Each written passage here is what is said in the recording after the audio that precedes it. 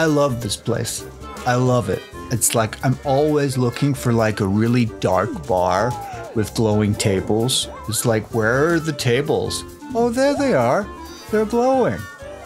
And like ideally there would be an alien playing an instrument with his ass. We're all the same. Everybody, we're all from different planets, but like we just talk. Like I don't know what you just said because I don't I don't speak what you are, but like I react as if I do understand. Do you see that robot? Oh my god, I've never seen a robot. Oh, don't look. What? No, that's not. You shouldn't. You shouldn't say that. You have to try this. Try try it.